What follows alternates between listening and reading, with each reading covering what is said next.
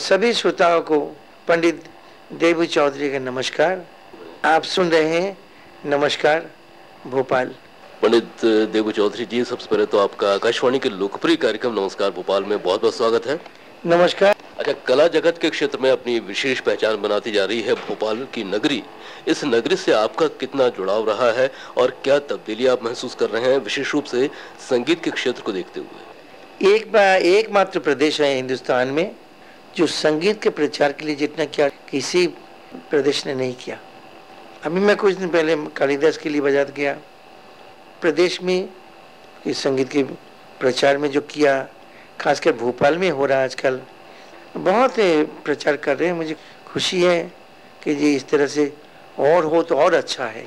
अच्छा पंडित जी, सितार की झनकार, उसका माधुर्य हर किसी को मुग्ध करता है सबको सम्मोहित कर देता है। और चूँकि आपका ताल्लुक तो पिछले पैंसठ बरस से ज़्यादा से है इससे तो आपको इस सितार को थामने में, इसको अपने करीब रखने में कितना संतोष का अनुभव होता है, और क्या अनुभूति होती? भगवान की माध्यम है।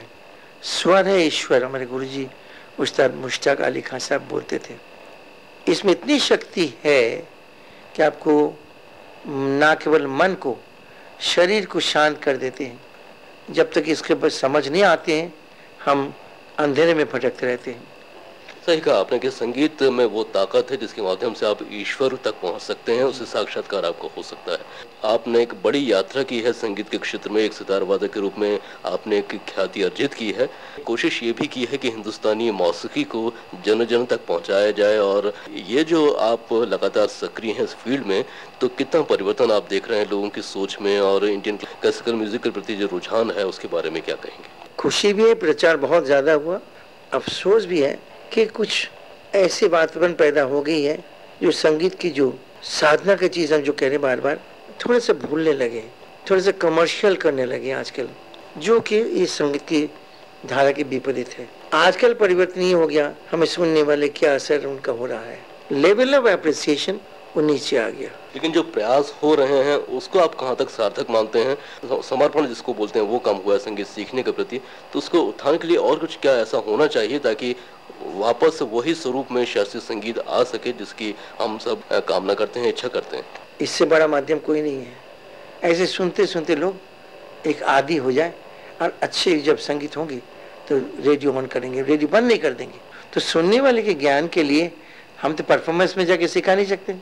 ऐसा कोई साधन चाहिए, कोई प्रोग्राम चाहिए, जिसमें सुनने वालों के लिए ज्ञान वर्धन के लिए एक प्रोग्राम हमें रेगुलर होनी चाहिए। पंडित जी, आपका शुमार उन सितार वादकों में होता है जिन्होंने अपनी एक अलग शैली डेवलप की है और जब वो सितार वादन कोई सुनता है तो समझ में आ जाता है कि पंडित जी बजा रहे हैं। तो आपने कई रागों को भी आविष्कार किया है जिसमें से बलास सारंग है अनुरंजनी है आशकी ललित ललित है कल्याणी बिलावल है शिव मंजरी है। तो इनको ईजाद करने के पीछे आपकी क्या सोच रही क्या आपने परिकल्पना इसके लिए तैयार की? और आज ये राग किस स्वरूप में है और जन जन तक आप पहुँचा रहे हैं? मैं तो जीते जी मरते दम तक मैं प्रचार करते जाऊँगा बजाता जाऊँगा सिखाता जाऊँगा। कैसे हमने की है, इसको बताना बहुत मुश्किल है। कोई भी कवि की कल्पना, कोई सोच के नहीं होता।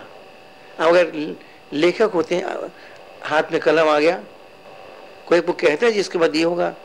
तो इस संगीत में भी ऐसा होता है, जितने राग हमने बनाया है, हमने नहीं बनाया बन गया गुरु कृपा से तो वो अपने आप शक्ल आ गई उसकी। एक राग है, विश्वेश्वरी हम उसकी मिसाल के तौर पे बात करना चाह रहे हैं क्योंकि वो राग नॉर्थ का नहीं है। तो आप फ्रीडम है आपका। स्वाधीन है आप। स्वाधीन स्वाधीनता का अर्थ ये नहीं जब जो भी चाहे कुछ चाहे किसी को खून कर दे।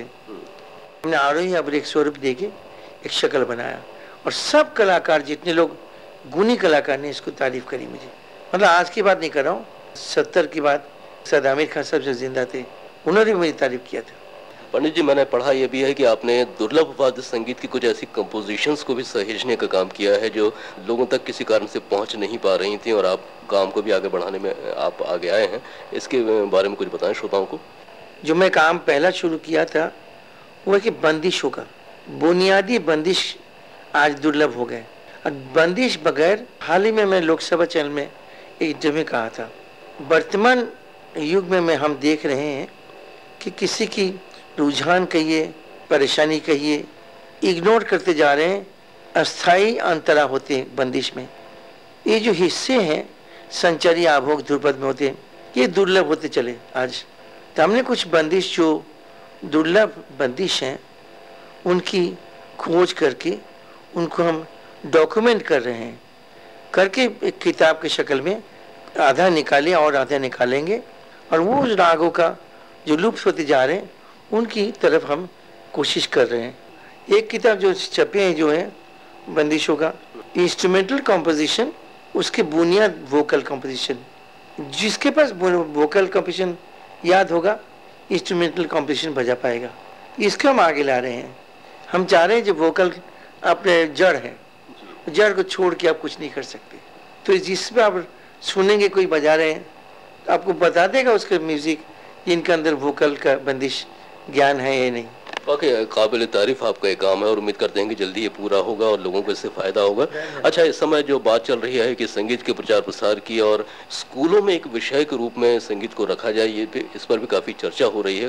हालाँकि कुछ स्कूलों में काम हो भी रहा है संगीत सिखाया जा रहा है उन्हें लेकिन गंभीरता से लोग इसे जाने समझें उसके लिए क्या होना चाहिए ऐसा? शिक्षक को आप क्या उसका चुनाव कैसे होना चाहिए ताकि बच्चों तक सही बातें अच्छे ढंग से पहुँच सकें? शिक्षक कि एक धर्म होना चाहिए कि हम सही काम करें। और शिक्षक में दोष भी नहीं दूँगा। उनके ऊपर आपने दस क्लास थोप दी एक दिन में। वो बेचारा जाए कहाँ? अब एक राग आप एक महीना, दस महीना सीखो। आप यूनिवर्सिटी में कहो, विद्यालय में कहो, वो नहीं कर पाते आप। अब एक साल में आपको बारह राग, चौदह राग सिखाना पड़ेगा। तो जो शिक्षक सिखाएँगे, कहाँ से करेंगे वो? मैं बीस साल से लड़ाई कर रहा हूँ। स्कूल में संगीत का प्रचार हो इंट्रोडक्शन हो एज ए सब्जेक्ट कंपलसरी तो इसलिए जब तक ये कंपलसरी नहीं होगा तब तक आप इसको इज़्ज़त नहीं देंगे। अच्छा जैसे कि हम विभिन्न चैनलों पर भी देख रहे हैं कि फ़िल्म संगीत को लेकर बहुत सारे कार्यक्रम हो रहे हैं लाइट म्यूज़िक को लेकर भी हो रहे हैं लेकिन क्या आप ये चाहते हैं कि एक शास्त्रीय संगीत का सेपरेट चैनल हो? मैं तो कहूँगा ये अगर वो दिन कब आएगा? एक शास्त्रीय चैनल शुरू किया गया था सात आठ साल पहले दूरदर्शन में। वो भी बंद हो गया। ये दुख की बात है मगर ये अगर हो जाए तो हम तो प्रार्थना करेंगे भगवान से जितने जल्द से जल्द हो तो संगीत के हमारे कल्याण हो जाएगा। इन दोनों आपकी और क्या विशेष गतिविधियाँ चल रही हैं? क्या आपका कुछ ऐसा कार्यक्रम चल रहा है ताकि जो छोटे छोटे अभी बच्चे हैं और जो इस फ़ील्ड में आने के इच्छुक हैं उनको कुछ फ़ायदा मिल सके और वो सितार के प्रति अपना रुझान दिखा सकें और इंडियन क्लासिकल म्यूज़िक को भी और भी अच्छे से सीख सकें कलाकार बन सकें।